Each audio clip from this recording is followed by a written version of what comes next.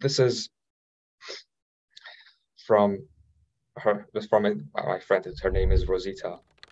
And she was her recollection her sister was sick had a spine injury and she was taking her to take an mri picture of her spine. Mm-hmm. they stopped her the traffic police stopped her. It's like your license your 19 hour license.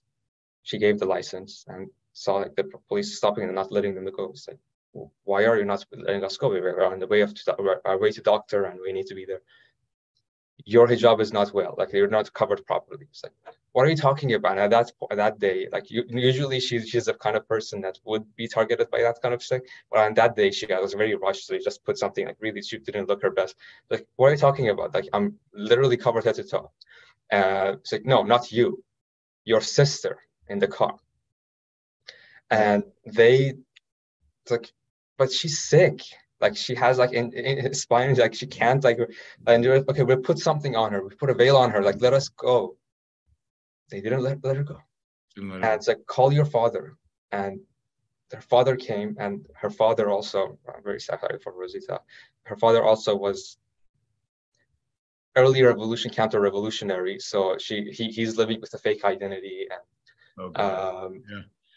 and uh, so I'm and her father was when she he came there it's like basically kissing their feet it's like please let my daughters go. And they didn't and they were, they were spiteful and and like how how sad is like a, a, simple like basically not having a target even if you're going to, to to the doctor like they're they're really trying to what they're looking for is to break people's spirits. And they would select for people who take pleasure in breaking people's spirits because this was not morality police, this was traffic police.